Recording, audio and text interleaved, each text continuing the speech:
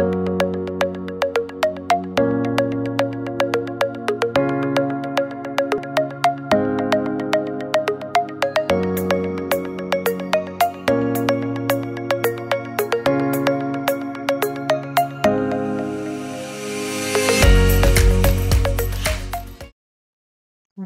is it?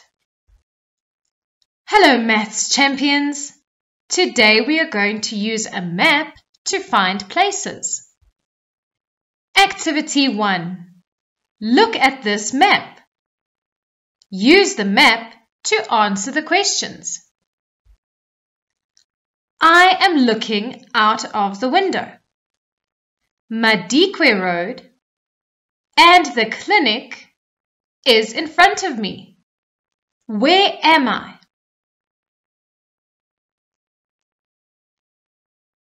Did you say the flats? That is correct. The flats are directly in front of the clinic and they are on Madikwe Road. Let's do another one. If I cross Madikwe Road, I will see the post office in front of me. Where am I?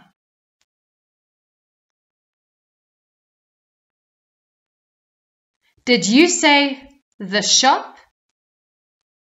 That is correct. Well done. The shop is directly in front of the post office and on Madikwe Road. Activity 2. Let's map some more.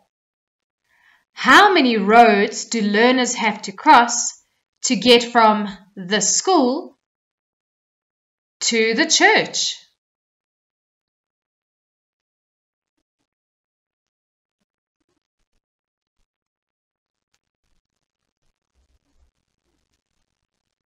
Can you see that they need to cross Ndlovu Street?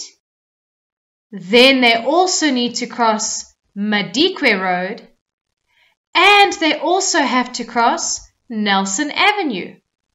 So learners have to cross three roads to get from the school to the church. What is the name of the road learners need to cross to get from the taxi rank to the school?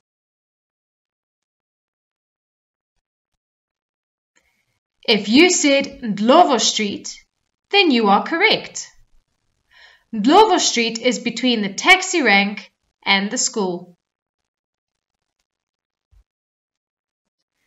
Now point with your finger on the screen to show the shortest way from the bus stop to the church. Are you ready? Go! Remember, we want the shortest way.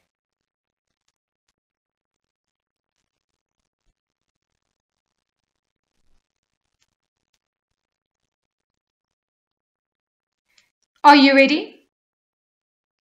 Did you choose this way?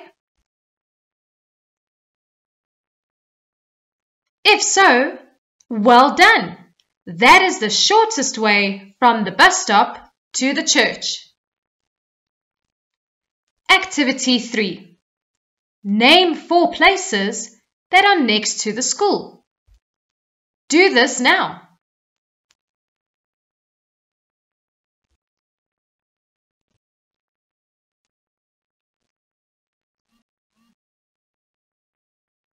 Are you ready?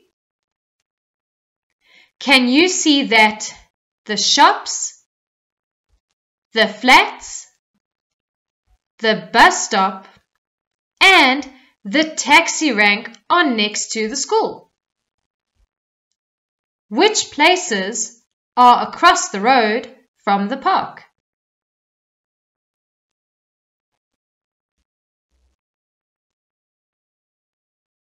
Can you see that the shop and the post office are across the road from the park? And now the last question. Which place is between the bus stop and the train station? Did you say the supermarket? Well done! Now that you are good at map work, you will never get lost. See you next time.